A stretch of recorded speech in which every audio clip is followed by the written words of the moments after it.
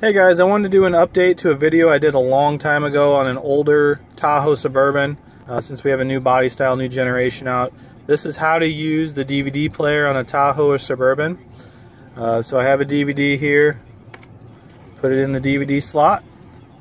Now I'm going to have to go back to the video button. And it's going to take a second to find the DVD.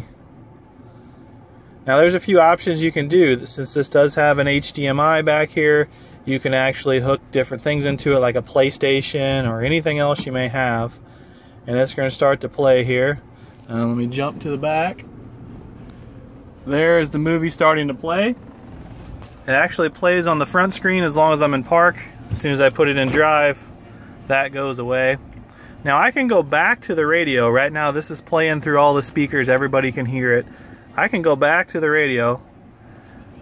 The people up front or in back can continue to listen to the radio. And whoever wants to watch the movie can use the wireless headphones that come with it. You can have up to five of these things. You get two with a Tahoe, four with a Suburban. So you can check those out. This is the remote now for the DVD player. You can see there's a couple options in here. You can control media. Like I said, there's USB slots, all kinds of neat stuff back here. And now it's not just a DVD player, it's also a Blu-ray player. So I hope that helps you guys out. Uh, if you have any questions, feel free to email me, Mike H. at Jansen Chevrolet. Uh, if you guys have any suggestions on videos or how-to videos or anything, let me know. I'll definitely get them going.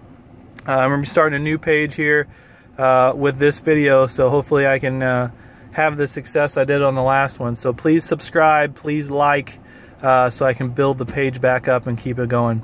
Thanks, guys.